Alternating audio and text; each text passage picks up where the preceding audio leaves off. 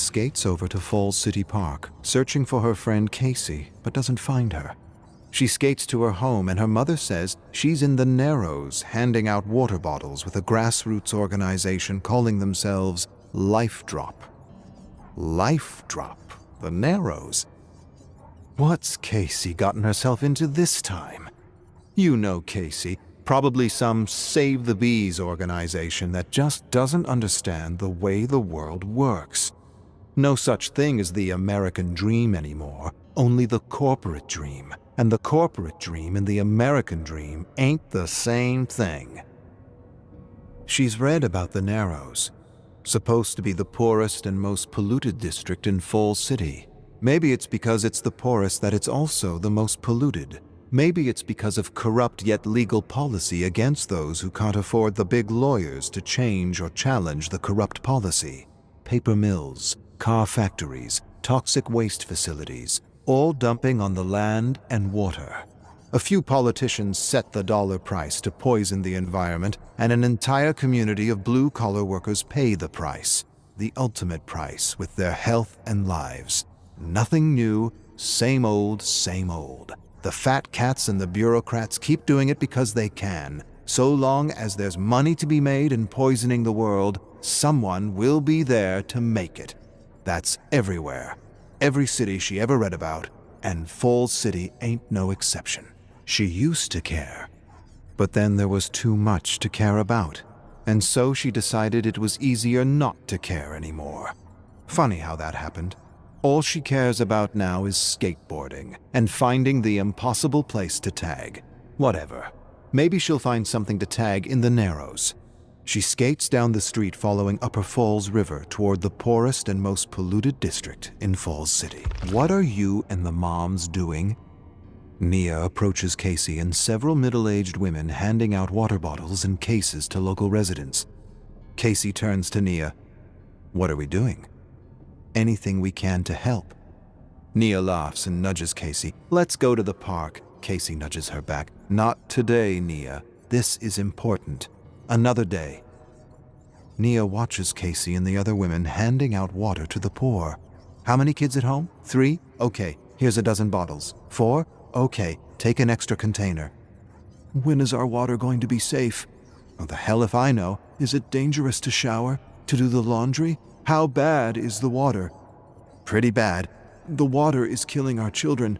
We need a center to treat the poisoned. Nea listens to all the talk with horror and disbelief. She's never really had to think about something as basic and essential as water. And now, she's thinking about water. Polluted water. And the poor in her city. They're saying it's the worst case of Minamata disease in the country. She doesn't know what that is, Minamata, but it sounds bad, real bad. What's Minamata? Casey looks upset or disturbed as she hands out another container of fresh water to a resident. It's what happens when people are poisoned with mercury. Nea sighs, feels for the residents, but knows shit happens and there's just not much you can do about it. We can't save the world, Casey. What's a few containers of bottled water gonna do? Casey freezes and gives Nea a look she doesn't quite understand. It's a moment before she responds. Yeah, well, maybe we can't save the world, Nea, but we can sure as hell make it a little bit better, and that's good enough for me. Can't save the world, but we can make it a little better, and that's good enough for me. Nea thought about Casey's response the entire night as she researched the horrors of the Minamata disease.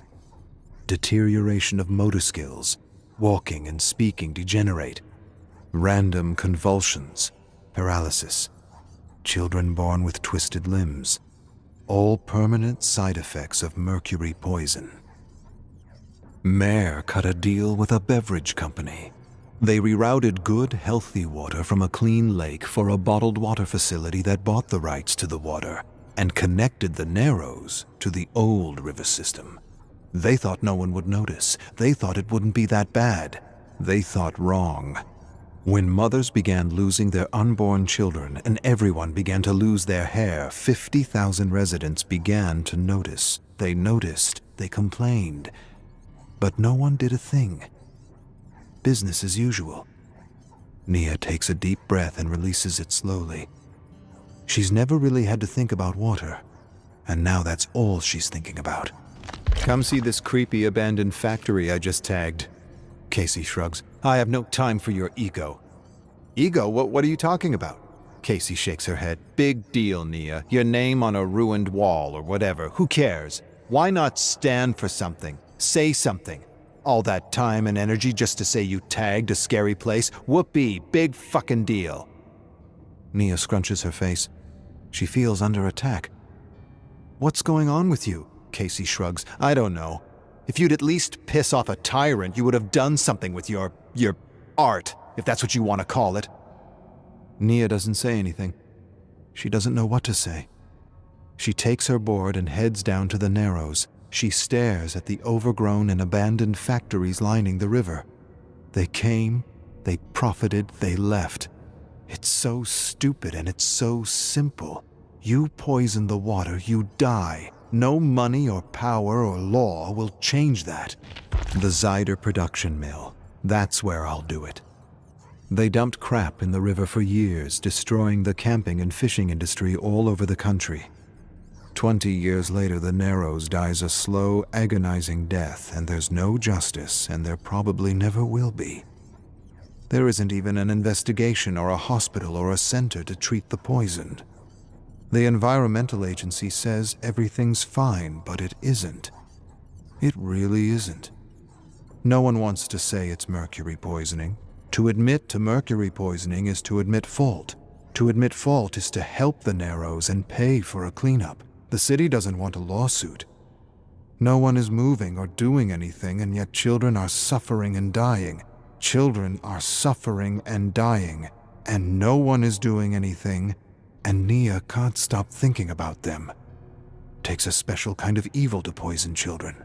Something about the whole thing makes her want to get involved. Real involved, like her friend Casey. Maybe she should tag those so-called public servants who only serve themselves. Nea skates to the side wall of the bottling factory. They make glass and plastic bottles for fresh water and dump their chemicals and poisons in the river. How fucking stupid is this place? How stupid is the city and that bastard of a mayor to allow such a thing? She searches for the perfect spot, the perfect surface to tag. She sees a spot high up in the open, that should annoy them. She sneaks to the front door, sees a camera, spray paints the lens of the camera, begins to tag the wall. They poison water to provide bottles for good water. Absurd, ridiculous, unbelievable. Nea finishes her good work with time and paint to spare. She searches the premises and finds a large white garage door. Smiles. Perfect. She'll tag her name nice and big for everyone to see. That ought to piss off a tyrant, as Casey says. The cause is actually getting to Nea, and she wishes her art would piss the factory and the city enough for them to clean up the river. Wishful thinking. They came, they profited, they left. Left an entire community poisoned. Gotta be laws against that, and maybe even a death sentence for those who knowingly poison children. So you tagged their building. Big deal. Means nothing. You got your name out there. That's what you did. But what does that name stand for? Nea doesn't know how to respond to Casey. She's never really attached a message to her street name like others. It's just not something she thought she'd ever do. It's not about a message. It's about art. Casey says art is the message. Art is rebellion. Some call it preaching. Who said that? Who made that up? The corporations, Nea. Of course they did. Get artists scared of using their art, of saying anything against their abuse, and they win. Centuries ago, artists protested tyrant kings, and those tyrants did all they could to own or stifle their art through fear of poverty or fear of death. Nea, kings still exist. They do, just in different ways. Today, the kings are CEOs, and their kingdoms are corporations, and some are good kings, and others not so good. And the not so good ones have found other ways to keep artists in line, scare them in school, tell them not to make a statement, tell them to stand for something, appeal to all, just entertain, entertain and inspire, but don't say something. Don't be political. Nea, everything is political. Not to say something is to say something. Turning your back and ignoring corruption is a choice, a political choice of indifference. Nea sighs. She doesn't know. She's not sure. She's never really done it before like the others. It's always kind of rubbed her the wrong way. Casey scoffs at her tag. Stand up for something or stand for nothing. Your choice as an artist. Your political choice. Come with me. Casey jumps on her board and leads Nea into the Narrows. She leads her to a home where a father helps his son eat food in his bed. He's only 11. Never had a chance. The only mistake was trusting those who were supposed to protect him. He's dying. Mercury poisoning. Before, people in the Narrows died of natural causes. Now it's all mercury poisoning. Casey sighs and shakes her head. You sign your tag over the culprit's garage door, and all you've done is advertise your street name. I heard your bullshit about not using your tag for a cause. What's the use of a tag then? What's the use of a voice if you ain't gonna say anything, ain't gonna stand up for something? Art is an act of defiance, not an act of profit, not an act of fame. Say something, Nea. Let the world know what's in your heart. Someone just might listen and do something. Lend your voice to the voiceless. Not rebel without a cause, rebel with a cause. Nea thinks about what Casey said as she lies in bed staring at a glass of water. Casey's right, and Nea remembers a time when she wanted to say so much as a street artist. Somehow that got stamped out of her. She tries to remember how it got stamped out of her. The only thing she can think about is school. No messages, no politics, nothing. Just inspire and entertain. Yet corporations have messages in politics, politics of selling. She remembers being told not to use art for politics, yet who does that benefit? Kings. Tyrant kings trying to own voices or stifle voices by creating an inner self editor that begins in school. Keep politics out of it. Keep politics out of it. Everything is politics, even the act of trying to stay out of politics. Politics. Fucking politics. Fucking corrupt mayor. Bastard didn't just switch good water for poison water. He sold the good water to a corporate king. Absurd. Ridiculous. Unbelievable. She never heard of such a thing. No one should own the rights to water. No one. Water belongs to everyone, to all living things. Nea stares at a spray paint can on her dresser. She thinks of something to say. Something to make people stop and take notice. For the first time in a long time, she doesn't care if it's a message or a political statement. Screw her high school art teacher who made her feel insecure about making statements with her creations. Water is health. Water is strength. Water is a human right. Water is a human right. A basic human right.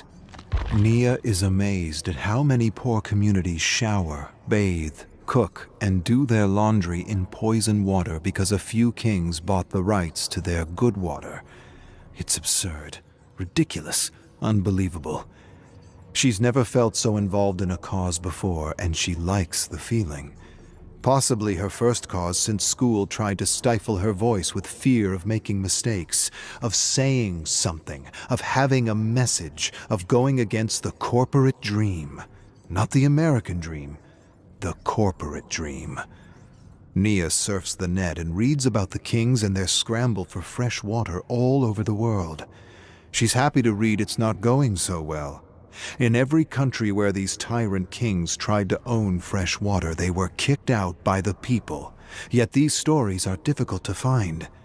Kings losing battles to peasants is rarely breaking news or news at all. Almost like the kings want to make sure no one gets inspired to fight against them as they desperately scramble to buy up all the water they didn't poison. They want it all. They want to sell it, and they don't want peasants getting in their way. Water is everything. Owning water is like owning life. Owning water is deciding who lives or dies. And that's what the kings and the mayor did in Falls City. They condemned and poisoned an entire community and did nothing to help them. And did nothing. Nea hopes in a higher justice, one that can't be owned or bribed, and she swears she'll turn the mayor's new luxury car into a work of rebellion. Can't change the world, but you can make it a little bit better. A little bit better. That's enough for her. Mm-hmm. Mm-hmm.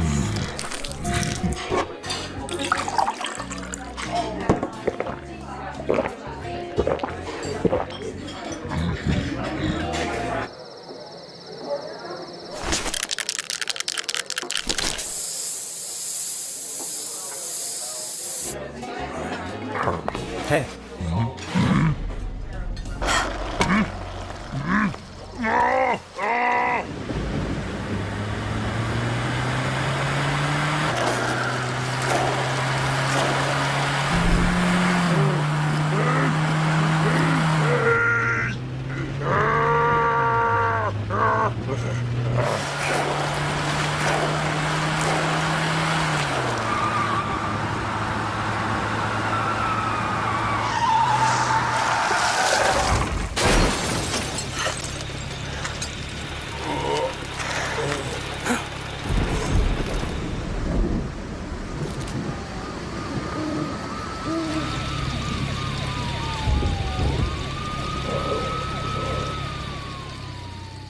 Subscribe to Lady Judged because she's my friend till the end.